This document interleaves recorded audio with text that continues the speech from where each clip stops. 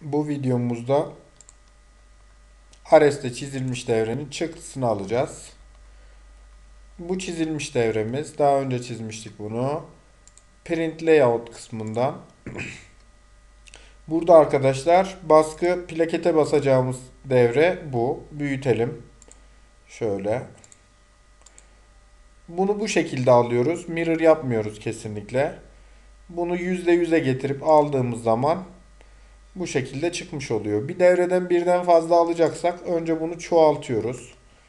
Şöyle bakın. Bir sayfaya sığacak şekilde bunları seçiyoruz. Böyle çoğaltıyoruz. Birden fazla devre alacaksak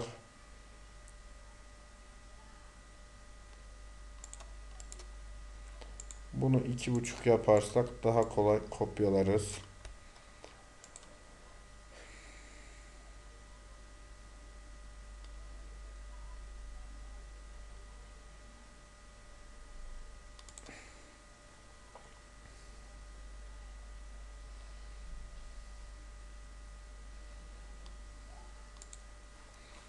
Bu şekilde çıktığımızı alalım. Bakın bir sayfanın yarısı kadar devre oldu. Buradan alt yolları seçiyoruz. Bottom Copper ve Borderci seçtiğimiz zaman böyle almış oluyoruz. Çıktı aldığımız zaman nasıl bir görüntü olacak? Create PDF diyelim. Masa üstüne kaydetsin bu.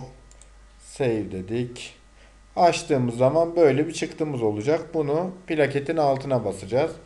Üst yolları da görmek istersek üst yolları da şu şekilde çıkarıyoruz. Tab kapırla tab silki seçebiliriz. Görüntümüz bu şekilde olacak.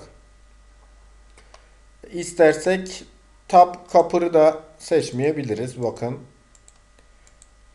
Bu şekilde oluyor. Bu bize kalmış. Bunu da %100 modunda alırsak yine mirror yapmıyoruz. Sorun yok. Bu da bu şekilde çıkıyor arkadaşlar.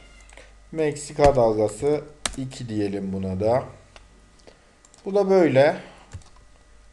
Bakın gayet net bir şekilde.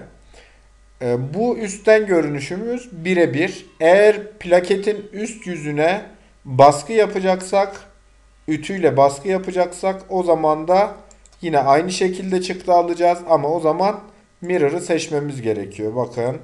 Bottom copper'ı bıraktım. Buradan mirror seçtiğimiz zaman üst yüze ütüyle baskı yapabilmek için gerekli oluyor bu. Bunu çıktı aldığımız zaman arkadaşlar yine %100'de alıyoruz. OK dediğimizde aldığımız çıktı. Meksika dalgası 3 diyelim. Bu şekilde yazılar ters dönüyor. Aynalanmış bir şekilde. Bunu istersek e, plaketin üzerine ütüyle basabiliyoruz. İzlediğiniz için teşekkürler.